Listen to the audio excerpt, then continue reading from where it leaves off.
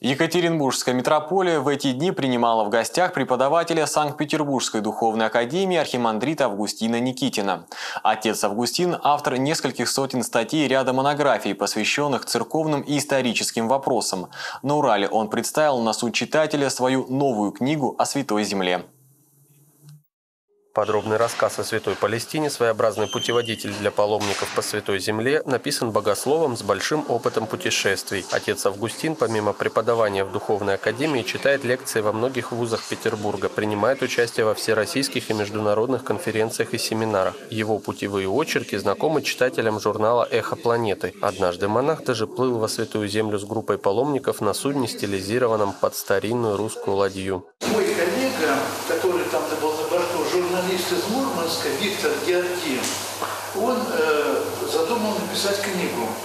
Ну, у него, конечно, тогда уже, как у журналиста, писателя, были какие-то там связи в издательствах. Мурманский журналист тогда, в 1992 году, выпустил книгу «К святой земле под парусом надежды» в соавторстве с отцом Августином, к которому обратился для описания духовных аспектов. Сегодня уже сам отец Архимандрит решил собрать свои знания о святой земле в отдельное издание. Другая, вышедшая полгода назад книга отца Августина, которую он презентовал читателям Екатеринбурга, называется «Русский медведь и китайский дракон». Дозированные заметки о растущей китайской угрозе отец Августин сложил мозаикой и в ней ясно увидел, что Китай превосходит нашу страну в большинстве отраслей развития. На фоне просыпающегося дракона жители страны Большого Медведя должны помнить о своей национальной культуре. В этой книге все сказано. Подборка по всем направлениям.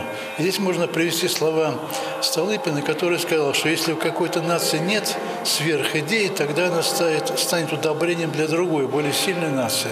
Презентация собственных книг стала для архимандрита Августина лишь частью его путешествия в Екатеринбург. Конечно, не мог паломник обойти вниманием святыни Урала, среди которых прочно занял свое место храм-памятник на крови в честь всех святых в земле российской просиявших. Именно здесь в минувшую субботу состоялась архиерейская божественная литургия. Ее возглавил митрополит Екатеринбургский Верхотурский Кирилл, сослужил уральскому архипастырю гость из северной столицы. И, наверное, не случайно так вышло, что буквально на следующий день после сказанных на презентации новых изданий слов о национальном единстве и сверхидее вспоминали о царе Николае. В день рождения государя митрополит Кирилл вручил медаль царственных страстотерпцев одному из самоотверженных исследователей, положивших большие труды ради увековечивания памяти святого императора Всероссийского.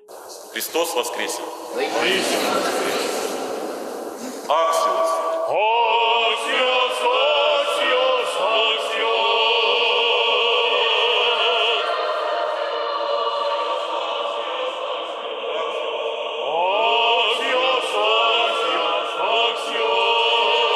Анатолий Михайлович Верховский в свое время принимал участие в первом молебне, организованном на месте мученической гибели царственных страстотерпцев. Его стараниями было правильно определено место, где были уничтожены останки императорской семьи. Теперь на Ганиной яме вырос целый монастырь. Хотя сам исследователь отрицает личные заслуги, ссылаясь на Божий промысел, мы помним о том, что руки Господа – это часто и есть руки верующих людей.